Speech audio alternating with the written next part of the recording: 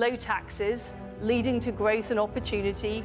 How do you know you have what it takes for life at the very top? Whether Our you children believe in the highest borrowing taxes and for 70 years, and higher mortgage that is a serious Two issue. experienced candidates are working their hardest to prove that they deserve to be the most powerful person in the UK.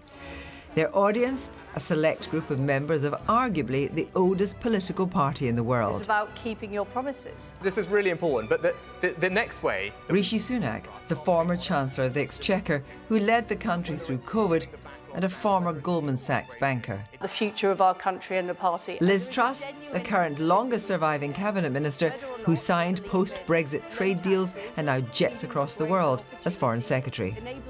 The victor will get to lead the country, but is there any other way to pick such a powerful figure? Ryder Street, St James, please, thank you.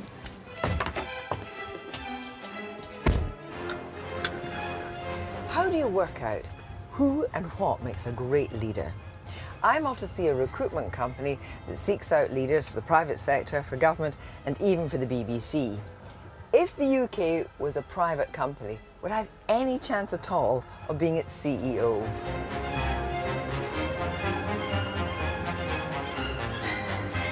The CEO has to do more to get their job than the Prime Minister does. You know, certainly when we look at the way we, we assess CEOs, how organisations plan for succession, the years that go into thinking about have we got the right person, the thoughtfulness that goes into it. It's not like gazing into a crystal ball. We don't see that same thoughtfulness go into thinking about who our political leaders are.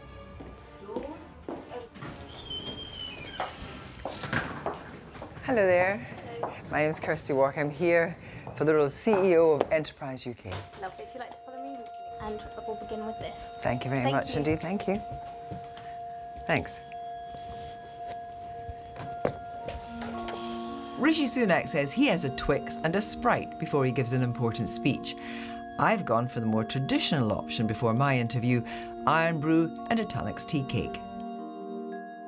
Korn Ferry claim they can judge CEO ability through analytical methods like this psychometric test. Highly demanding career. I'm going to move it up. Avoiding the spotlight, I am going to move that to the bottom.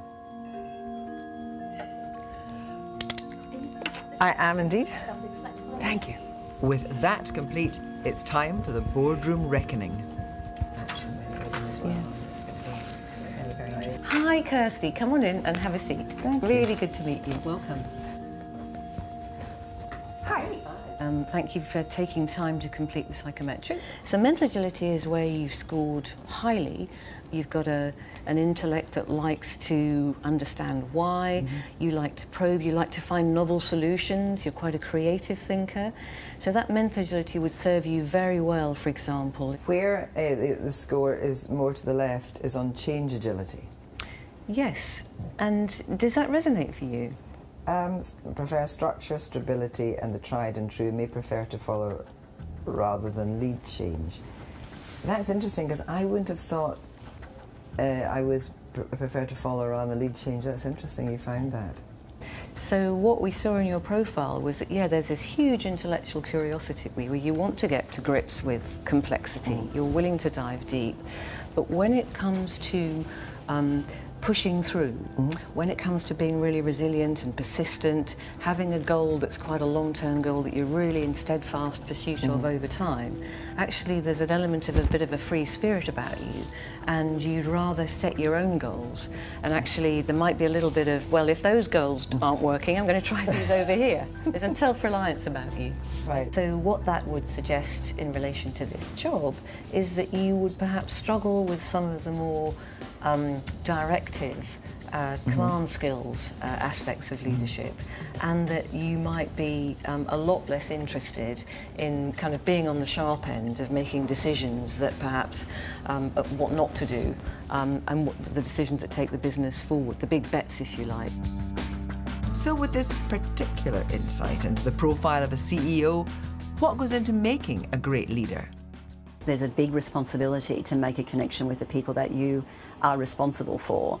And you know, there's there's lots of examples, certainly in my working experience, of of where the leaders make a deliberate effort to go out and get behind the bar, pull pints. If they're mm-hmm. running a, a retail, a hospitality company, be back on the shop floor, work the, walk the factories.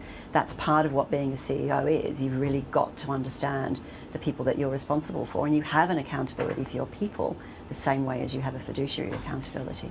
So actually, you don't see that much difference in being CEO of Enterprise UK and being the Prime Minister.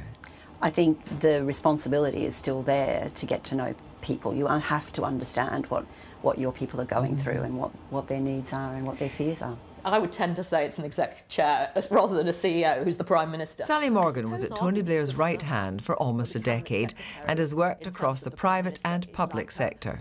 I think a great Prime Minister is above all a leader. They're a leader rather than a manager. I mean, they do need to they need to make sure management is done well, but they're not the person in charge of management.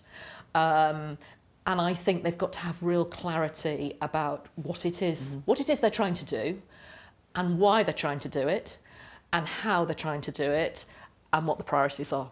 Um, and they've really got to kind of they've got to constantly talk about that so that everybody gets it, and then people can work with it.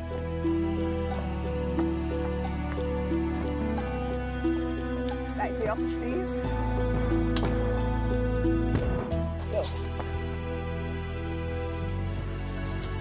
Well, I'm collaborative, I've got mental agility, I'm intuitive, but I'm not assertive enough, and I'm not going to be a revolutionary leader. So I think it's a bit of a stretch to be CEO UK.